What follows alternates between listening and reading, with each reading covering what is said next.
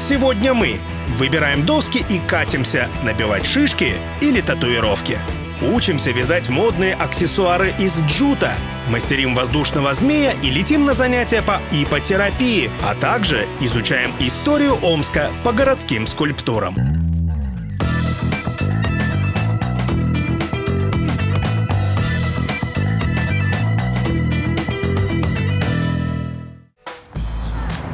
Летние дни уже вовсю шагают по улицам города, а вы до сих пор не придумали, как сделать их яркими и запоминающимися?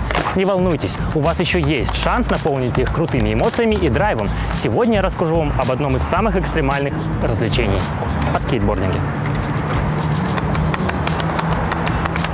Исторической родиной и центром мирового скейтбординга считается Калифорния. Там каждый десятый ходит со скейтом в руке. Все началось в 60-е, когда калифорнийские серферы стали приделывать к своим доскам колеса, чтобы тренироваться на суше во время штиля. Сегодня скейтбординг – это полноценный земной вид спорта с массой поклонников даже в Сибири, где особо не разгонишься, ведь короткое лето сменяет длинная зима.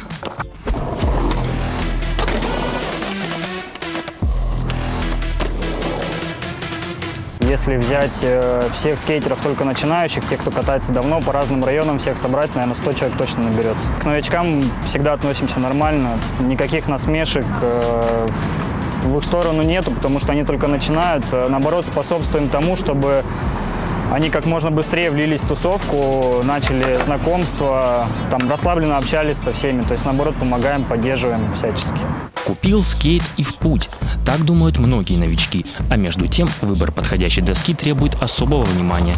Для начала определитесь, как вы собираетесь кататься. Для трюков – классический скейт, для спокойной езды по городу – лонгборд, а для скоростной – круизер. С одеждой можно не заморачиваться. Главное – комфорт и практичность.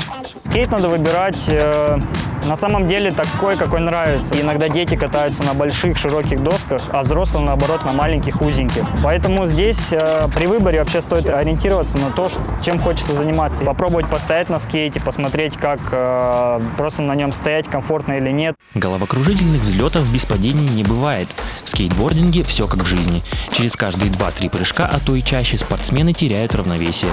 Чтобы встать на 4 колеса, а не на 2 колена, профессиональные скейтеры советуют новичкам не прыгать выше головы и тщательно оттачивать базовые элементы. А иначе...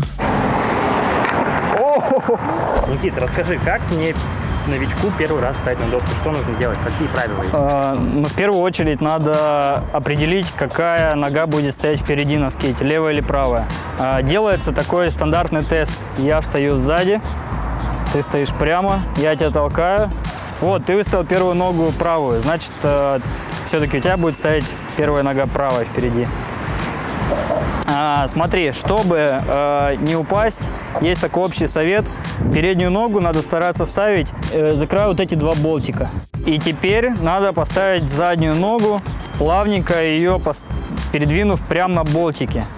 Вот, она стоит вверху на болтиках. Переднюю ногу можно еще немножко развернуть, чуть-чуть вот так, чтобы, да, чтобы две ноги примерно одинаково стояли. Вот, и это будет э, такая классическая стойка на скейте. Специальных площадок безопасных скейт-парков в Омске пока нет. Поэтому скейтерам приходится собираться на площадях, в парках и на автопарковках. Их можно встретить у памятника Михаилу Врубелю, рядом с Любочкой, на площади у цирка и в парке на Зеленом острове. Увлекательный и непредсказуемый скейтбординг – это не просто спорт, а образ жизни. И если вы все-таки решитесь попробовать это драйвовое развлечение и встанете на доску, то у вас точно отпадет вопрос, чем же занять свое свободное время.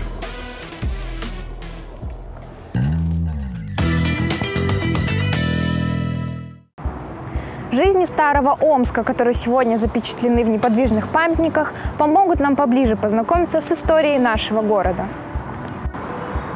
С 1918 по 1919 год город был объявлен третьей столицей России, а все благодаря адмиралу Колчаку. В Омске находилась резиденция верховного правителя. Здесь он жил, работал и вошел в историю как руководитель белого движения. Дом Батюшкиных, где поселился Колчак, стал его неофициальной резиденцией. Именно отсюда он командовал и управлял сибирской армией. Во время гражданской войны все силы Колчака были брошены против Красной армии, и решением городских хозяйственных вопросов никто не занимался. Город был наполнен беженцами, солдатами, ранеными и военными. За короткое время население Омска выросло вдвое. В обществе начало нарастать недовольство. К тому же началась эпидемия тифа, а в коридорах правительства процветала коррупция. В результате всего этого последовал крах, и 27 декабря 1919 года адмирал Колчак подписал приказ об отречении от прав верховного правителя России. До сих пор все рассуждают, был ли он тем, кто провозгласил Омск новой столицей государства, или же лишь военным, который потерял свою власть, не сумев ее удержать. Говорят, если одинокая девушка присядет к Любочке на скамейку, то вскоре выйдет замуж. Но есть и другое поверье. Окажешься на фотографии с железной дамой, то пять лет жениха не видать. Поэтому я здесь засиживаться не буду. Статуя была установлена в 1999 году и имеет очень интересную и занятную историю. Любочка была второй женой генерал-губернатора Западной Сибири. Когда авторы создавали скульптуру, у них в распоряжении не было ни одного портрета Любочки. При работе они основывались на скупые архивные описания внешности девушки и полагались на свою фантазию. Уже немного позже один портрет девушки все же нашелся. Сходство скульптуры и портрета просто поражает. Тем временем, как Любочка купается в лучах славы и красуется на тысячи фотографиях, даме у самовара достается внимание лишь одного фотографа, а ведь история у нее не менее интересная. Полное имя дамы – Мария Александровна Шанина. Сидит она возле своего дома, построенного в 1898 году. Мария Александровна открыла здесь один из первых универмагов Омска. В магазине товар можно было купить как оптом, так и в розницу. Магазин славился широким ассортиментом платьев, драгоценных изделий, часов и мануфактуры. Здесь впервые в Сибири началось использование кассовых аппаратов, а также впервые начались распродажи.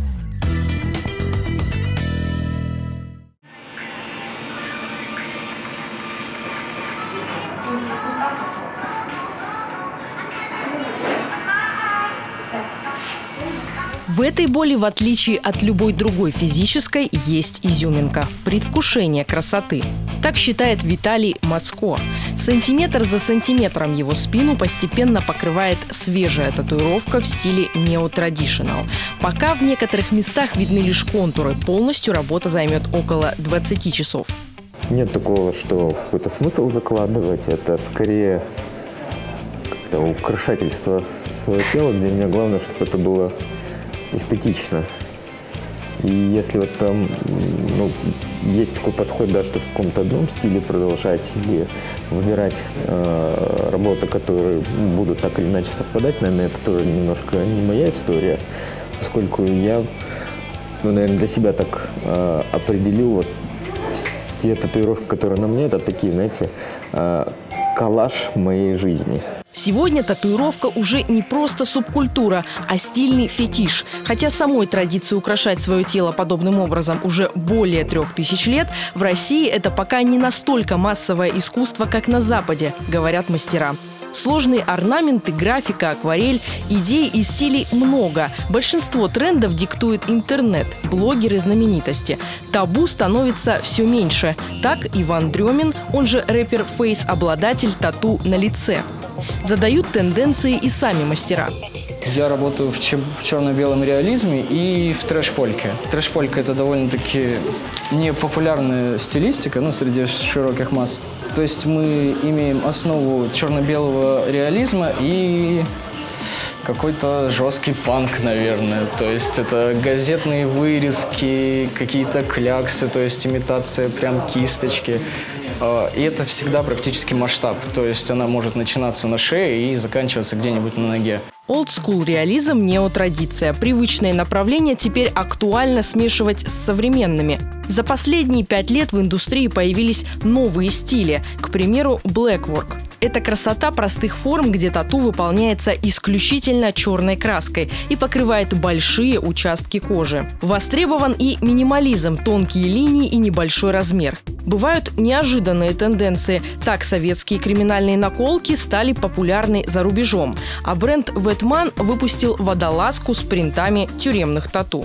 Елена Кирушок рассказывает, из последних трендов ботанические мотивы – абстракция. Однако даже рисунок без конкретного сюжета требует индивидуального эскиза, который корректируется не один раз.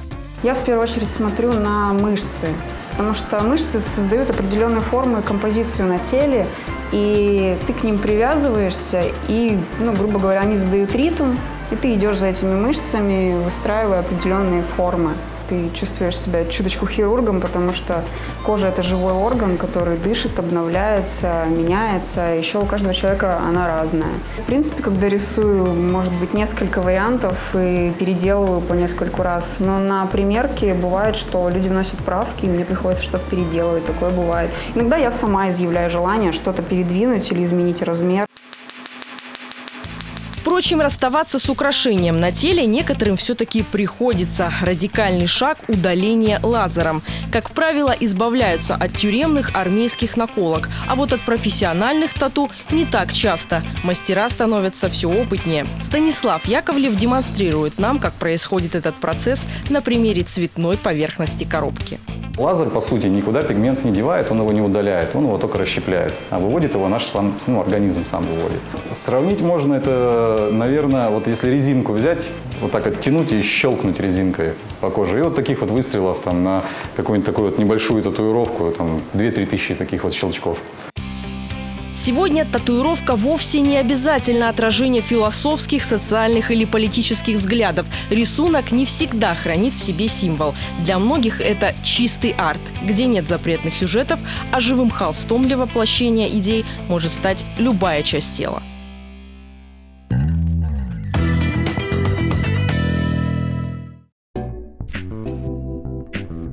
Посмотреть в Омской области летом, где в регионе упал метеорит и почему деревню Акунева называют мистической? Обо всем этом мы поговорили с руководителем туристского информационного центра Дарьей Шалдой. Куда летом можно поехать путешествовать по Омской области? Можно отправиться на юг на озеро Ивиты, увидеть гладь озера, искупаться в нем, обмазаться грязью, узнать о казахских традициях. И все это в таком мультикультурном туре очень интересно. Можно отправиться, наоборот, на север. Это Муромцево, это Ленево, деревня Окунева. А, познакомиться, опять же, с другими традициями, а, увидеть абсолютно другую природу, другую культуру. А, искупаться в таре, сплавиться по таре Краснодаре, а отправиться на велосипедный тур, э, допустим, на да, известную всем Чернолучинско-Красноярская зону отдыха. Мы привыкли там отдыхать, но вот, допустим, отправиться с велосипедом, проверить себя на прочность и, в принципе, заняться да, здоровым образом жизни. В этом году у нас какое-то небывалое количество э, людей, которые хотят поехать в Устишим, э, на самый север Омской области и узнать о том, что же у них есть интересного, э, потому что там есть и уникальный вятский скит, который можно посетить, где живет всего лишь один человек. Это практически заброшенное место. И э, в первую очередь познакомиться с людьми, которые там живут, потому что люди, которые там остаются, они несут истинную культуру. Расскажите про Акунева. Говорят, что такое мистическое место, место силы. Считается, что именно там, именно это место, это пуп земли. А, все умрет, а пуп земли останется. И это считается таким неким энергетическим центром, поэтому человек, приезжая туда, конечно, он ищет именно эту энергию.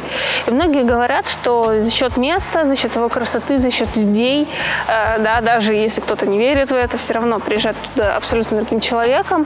Ну и плюс экскурсоводы, которые могут вас проводить к этим местам силы, тоже рассказывают вам о том, а, почему же именно это место является таким. И, конечно, вы тоже этим всем проникаетесь. Приезжая туда, вы не просто смотрите, да, там на искусственное что-то, а на людей, которые так реально живут. И тоже этим отчасти проникаетесь, либо просто, да, как исследователь изучаете и смотрите, что а можно по-другому. По поводу озер, озера Ленева. А вообще а, в том году уже начали реализовывать проект по экотропам. И в этом году еще один проект президентского гранта, также эко-волонтеры.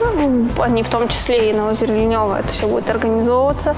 А, там есть эколого-туристская тропа, там есть великолепные а, а, средства размещения, где вы можете также остановиться как в домиках, так и с палаткой на берегу. Вы можете прогуляться по этой тропе. Каждые выходные там проходят какие-то минимальные активности тоже да, для привлечения туристов и для того, чтобы узнавали немножко больше. Есть даже какая-то легенда, связанная с метеоритами, что якобы метеорит упал, и вот э, после его падения да. там образовались. Легенда именно такая, что озера метеоритного происхождения, ну, кто-то говорит, что это так, кто-то говорит, что это не так.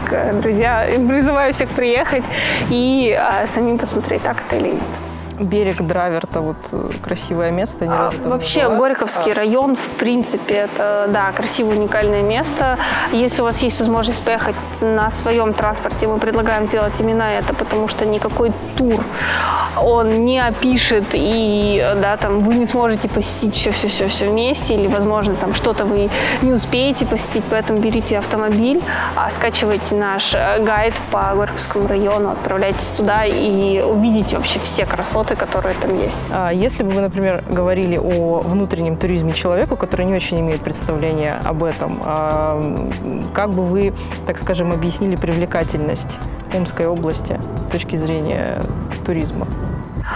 Знаете, когда-то мне э, один очень интересный человек сказал, что Омск – это город-стол. А, очень интересное да, сравнение. Ну, действительно, мы достаточно равнинные, и область у нас такая достаточно равнинная. И вот все наши а, уникальные и а, какие-то культурные обычаи, и исторические, и, а, естественно, природные, это такие явства на этом столе. И вот для того, чтобы понять, какая Омская область, вам нужно попробовать все.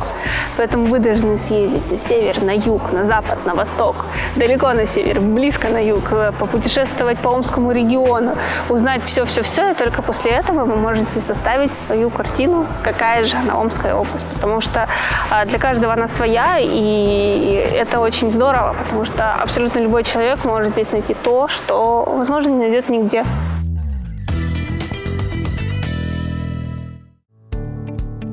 Петелька за петелькой и клубок превращается в произведение искусства.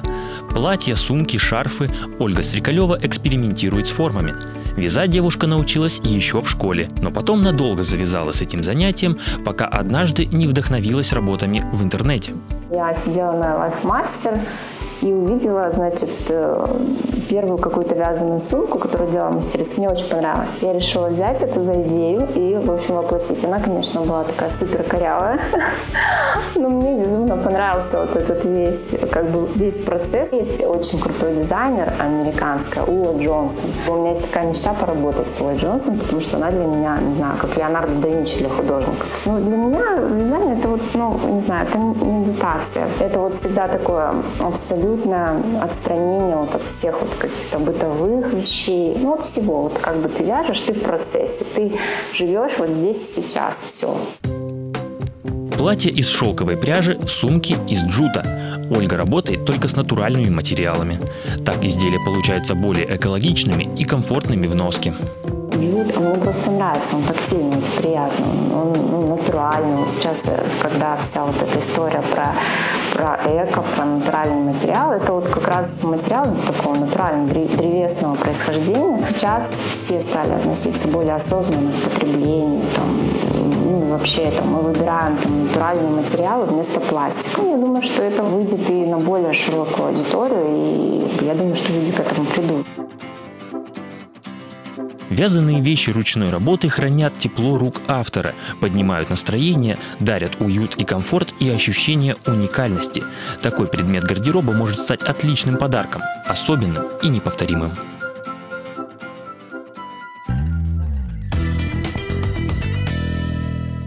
Это птица высокого полета. В книге рекордов России зарегистрирован случай, когда воздушный змей поднялся более чем на 100 метров над землей, а впервые его запустили еще во втором веке до нашей эры, совсем не в развлекательных целях. Воздушный змей долетел и до наших дней.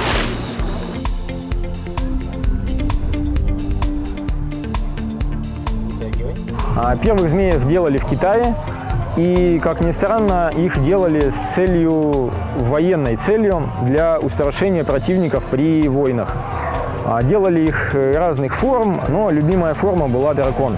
В магазинах можно найти воздушных змеев любой формы, различных цветов и размеров. Но куда интереснее провести свободное время с пользой и самостоятельно построить летательный аппарат. Скелет будущего змея делают из деревянных заготовок. Две перекладины, склеенные между собой, затем соединительное кольцо и рукоятка. Все детали соединяются между собой капроновой нитью. После готовая конструкция помещается на пергамент. Края заклеиваются скотчем. Как хорошо получается. Сейчас такое время, что очень многие дети, особенно мальчики, они как-то так не привыкли, не приучены работать руками. Я вот недавно во двор, во двор вышел со своими, у меня два мальчика, 4 и 7 лет, и мы взяли с собой лупу. И вот ну, банально взяли лупу, на солнце я направил и, ну, соответственно, начал жечь. И вокруг меня собрался весь двор, и все в удивлении, и говорят, да ну, да так не может быть. Я, говорит, в мультиках видел, но я не думал, что так может быть. Чего ты сегодня делал здесь? Ел. Я мастерила воздушного змея. Тебе понравилось? Да. Тебе было сложно? Нет, совсем. Нет, совсем? Что тебе запомнилось больше всего? Вот тут вот склеивали скотчем. Воздушного змея принято считать символом благополучия и силы. А в Японии запуск змея – настоящий ритуал, проводимый для защиты от злых духов и несчастий. Но наш не полетел. Рожденный летать остался ползать. Из-за полного штиля. Верхом к победе над собой. Здесь особенные дети забывают о своих проблемах. Александра едва дотягивается до лошади, но бесстрашно берет дело в свои руки. Перед прогулкой нужно непременно почистить животное. Именно так укрепляется дружба между человеком и лошадью. Девочка в седле с четырех лет, восемь, она уже опытная наездница. Чтобы поворачивать, вот так вот. Берешь, вот так вот тянешь, она туда идет. Вот сюда тянешь, туда идет. Практически ничего сложного в этом нету. Лошади очень благоприятно влияют и на моторику, и на эмоциональное развитие ребенка. Вот, она очень полюбила э, лошадей, ухаживать, кормить, да? Да. дружить. Да. Чистить их, да? Что там еще вы, дел- вы делаете? Ну, мечтает, когда вырастет, что она будет здесь работать, помогать. О пользе общения с этими животными известно еще с античных времен. В современной медицине этот метод стали использовать несколько десятилетий назад. В 1953 году произошло чудо. Женщина с диагнозом полиомиелит с помощью верховой езды смогла не только ходить, но и на Паралимпийских играх получила серебряную медаль. С тех пор ипотерапия применяется в лечении многих заболеваний. Так как лошадь на 2 градуса, у нее температура выше, чем у человека, а, она разогревает мышцы, и за счет этого мышцы приходят в работу. Опять же, ребенку достаточно обнять лошадь, покормить. Вот это вот общение идет с лошадью. За катание. Благодаришь ее? Да. Это на следующий раз поставишь? Ты не бойся, она целоваться любит. Буду с тобой целоваться. Ну ты погладь. Специалисты уверяют, катание на лошадях – это то, что доктор прописал абсолютно для всех деток от 5 до 12 лет. Занятия верховой ездой укрепляют не только тело, но и дух, успокаивают гиперактивных малышей, дисциплинируют и воспитывают характер. Такие навыки будут не лишними во взрослой жизни. Ребенок может придумать сам какой-то элемент и его выполнить, может уговорить, заставить лошадь его выполнять.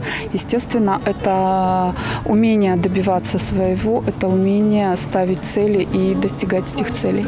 Самостоятельно управлять лошадью – это новая вершина, которую предстоит взять ученикам и инструкторам. В рамках проекта «Верхом к победе» фонда «Радовесть», который получил президентский грант, здесь планируют заниматься адаптивным конным спортом. То есть дети с особенностями смогут на равных участвовать в скачках. И в этом главный целебный эффект, когда стираются границы, когда дети начинают верить в себя.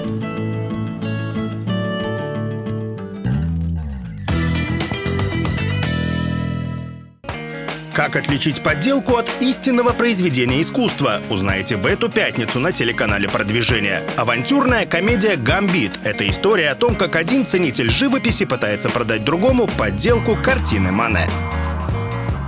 Чем украшали серванты и какую посуду ставили на стол советские хозяйки? В субботу поднимем хрустальные бокалы. Их звон в свое время ценился на вес золота. Почему? Об этом расскажет Ольга Долгих в программе «Обратный отчет». Что бы вы сделали, если узнали, что жить осталось совсем немного? Герой фильма «Третья звезда» не захотел проводить это время в больничной палате. Он отправился в путешествие с друзьями, чтобы повеселиться в последний раз. Понедельник зрителей телеканала «Продвижение» ждет встреча с олимпийским чемпионом Алексей Тищенко, герой очередного выпуска программы «Наши люди». Спортсмен расскажет о своем пути к титулу, жизни после победы и научит держать удар и на ринге, и в жизни. В среду телеканал «Продвижение» приглашает в темные лабиринты прошлого. Потеряв память, главная героиня начинает жизнь с белого листа, но в старых декорациях. Вспомнит ли она прошлое, узнаете, включив телеканал «Продвижение» в 20.00.